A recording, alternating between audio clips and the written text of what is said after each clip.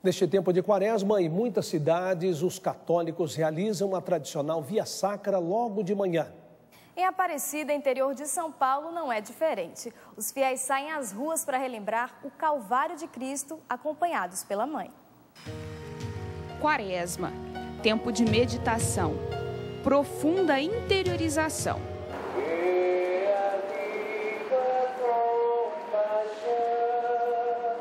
O exercício espiritual nas primeiras horas da manhã relembra a importância deste período para a Igreja Católica. Esse tempo especial de conversão, né?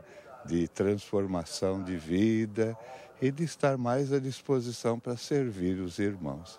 É um momento de, de refletir mais sobre a, a nossa vida, né? então eu acho interessante a gente participar nesse tempo de quaresma. Os 40 dias de recolhimento fazem o doloroso caminho até a cruz ser compartilhado. A gente acredita que fazendo uma penitência vai, a gente vai mudar o interior e melhorar de vida mesmo. Neste percurso, não é somente Jesus que se encontra com a mãe. Ela acompanha todos os filhos e vê de perto o consolo do amado às mulheres piedosas.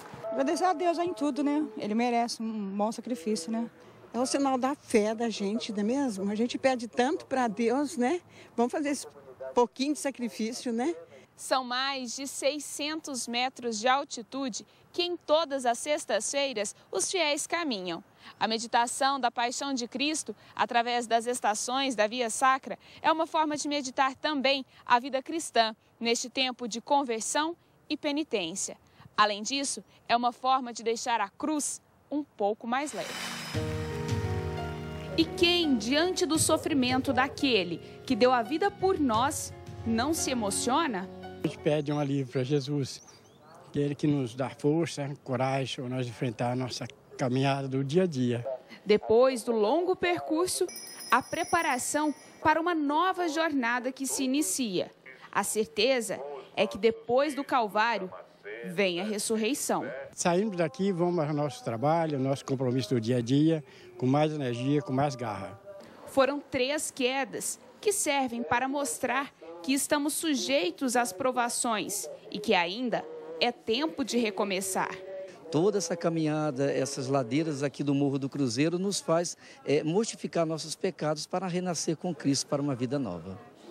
Não importa a idade ou a rapidez dos passos, a meta da caminhada é a eternidade.